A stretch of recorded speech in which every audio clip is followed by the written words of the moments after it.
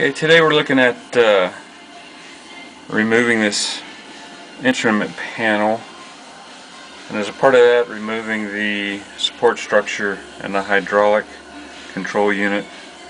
So I just wanted to get some pictures of where these lines were going. This one goes through the firewall. These two go down and uh, are on the back row going through the floor.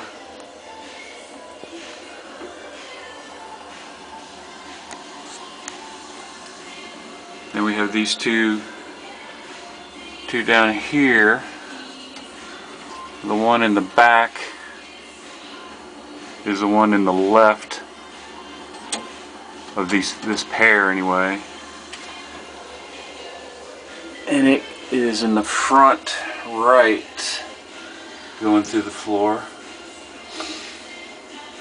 And then the other one is going is the uh, the, the right back there in that picture.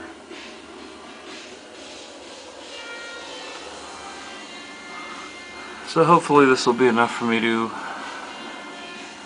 hook these guys back together correctly when the time comes.